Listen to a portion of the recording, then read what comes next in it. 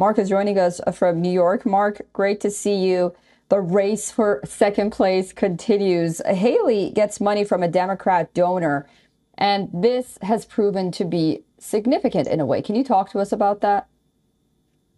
Well, I mean, the motivation for the uh, donor here, and it's two hundred fifty thousand dollars, and uh, it's because uh, he is a well-known uh, antagonist against Trump. So he believes perhaps that if he supports Haley, Haley can knock Trump out.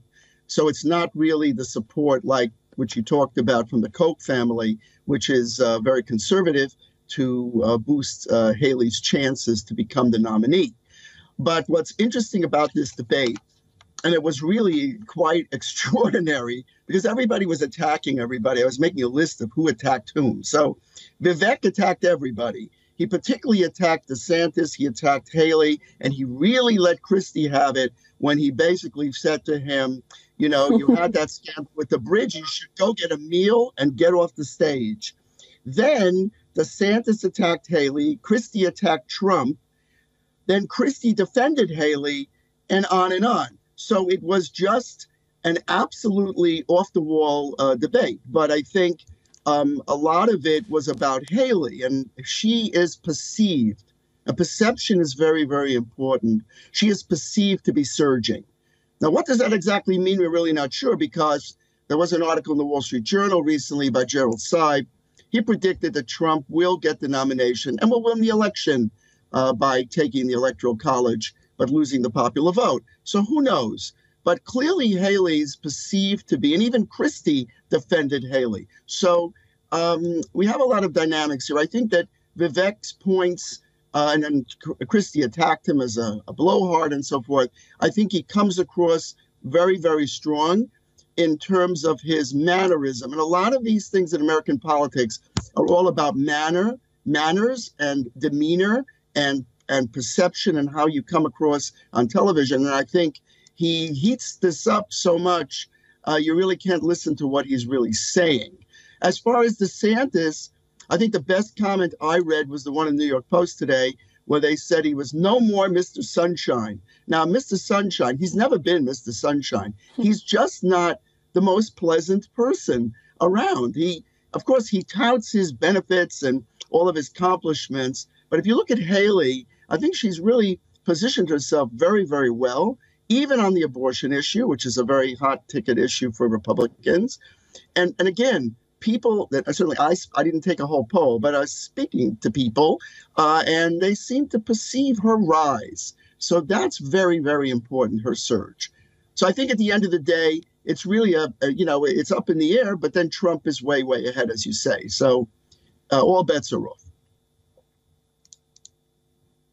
Yeah, let's see what happens in Iowa. You know, you talk about how mannerism and perception is so important. Vivek seems to always get the attention, at least on social media. He has those one liners and whatnot. Uh, how do you see Vivek's rise in taking a stance and not criticizing the former president? Not that the other ones uh, do anyway, except Christie. And then you have Christie, who hardly had enough uh, points to even be on that stage. Do does you know, these never Trumpers and criticizing Donald Trump.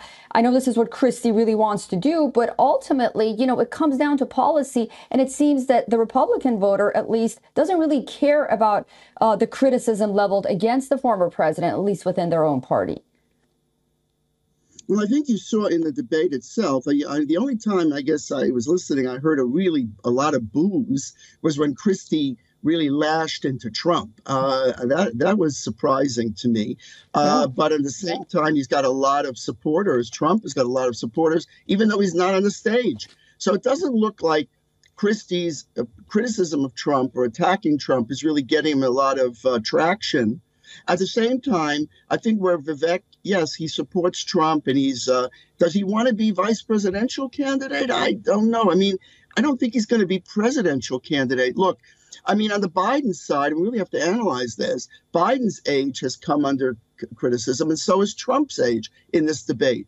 So, so they they're they're both in this situation where I think they need to have very strong vice presidential candidates. And on the Biden side, the question is Is Kamala Harris a strong candidate for vice president? She's very, very unpopular in the idea that if Biden got elected, he'd have a strong vice president who could potentially be a successor.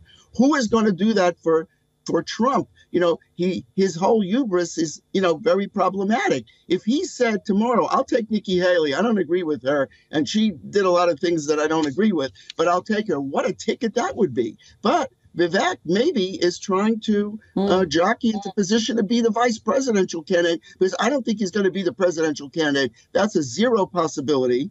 And some of the things that he says, and he was accused of being naive. I think this morning on Fox News, uh, uh, Brian Kilmeade said I was very naive that he keeps talking about separating Russia and China. He does talk a lot about India and strengthening India, which mm-hmm. is a very good point. I think I agree with that.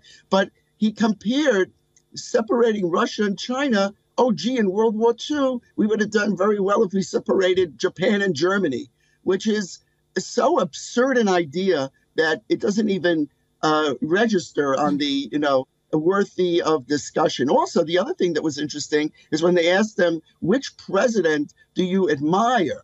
And they had Washington, and that was Haley, and then they had Reagan, and they had Lincoln. And then they, then I think DeSantis came up with Calvin Coolidge. And I think a lot of people were scratching their heads, you mm-hmm. know, who haven't studied American history recently. And he kind of clarified that today, where Calvin Coolidge was known as Silent Cal, and he never said more than a couple of words.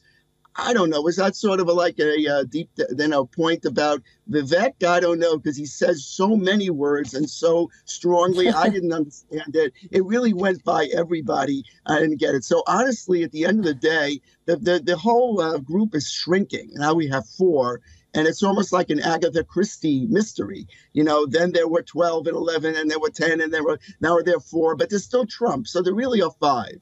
So the next time, I mean, when we're going to look at this now down the hmm. road, coming into the primaries, it looks like, based on the rules of the Republican Party, that Trump will sew it up because it's really a winner takes all, and he's way ahead of everybody. So, you know, everybody is jockeying here to be number one, but Trump is the undisputed number one. So I think they're maybe trying for, for the second position. Christie doesn't have a chance to be a second position with Trump. That's for sure because he's the never Trumper now. But as far as the others, maybe there's a chance mm-hmm. there. I don't know. But I think you really, because of the age of Trump yeah. and Biden, the, the VP race becomes much more important than it usually is.